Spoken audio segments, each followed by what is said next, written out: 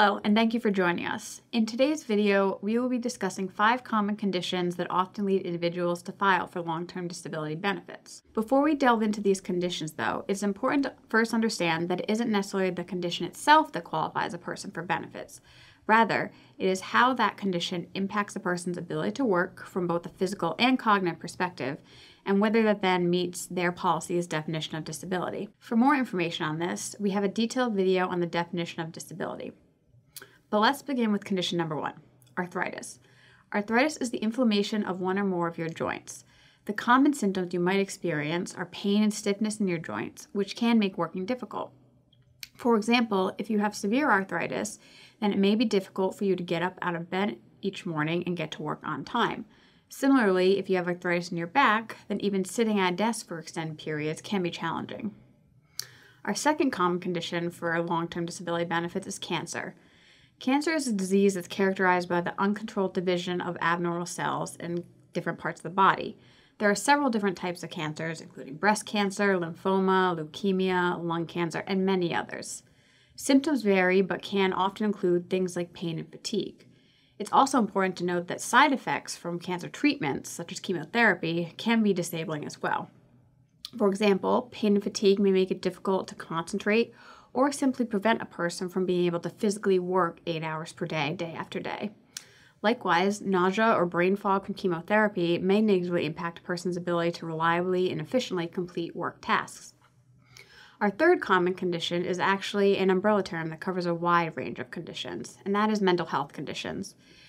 These can include disorders that affect your mood, your thinking, and your behavior.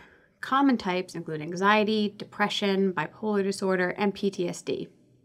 These conditions can impact your ability to interact with others or significantly affect your cognitive abilities, which can impair your ability to work. It's important to note that though many LTD insurance policies contain provisions that will limit the amount of benefits you may receive for a disability that's based on a mental health condition, typically this limit is often two years of benefits. But it's important to read your policy to make sure you understand what your coverage affords you. Our next condition is heart disease. This term also covers several heart conditions, which can include diseased heart vessels, structural issues in the heart, and blood clots. Some common symptoms of heart disease are chest pain, shortness of breath, dizziness, cough, and fatigue. It can also lead to serious complications such as stroke. As we've seen with the previous conditions, the symptoms of heart disease can significantly impact a person's ability to work. For example, if you are an ER physician but suffer from shortness of breath, then you may be unable to move around quickly in the emergency room to treat patients urgently or work the long hours your occupation requires. Our fifth and final common condition for long term disability benefits is multiple sclerosis, or MS. MS is a chronic disease where the immune system attacks the protective covering of the nerves. Common symptoms can include numbness, weakness, lack of coordination, loss of vision, fatigue, slurred speech, and more. This like others, can significantly impact a person's ability to work. For example, a brain surgeon with MS may not be able to handle the surgical instruments with precision needed to perform their occupation, which can put patients at risk. Additionally, issues with memory or concentration could make a person more liable to make mistakes that could impact the quality of their work.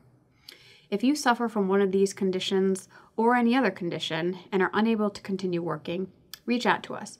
It costs nothing to speak with us and see if we can assist you with a long term disability claim.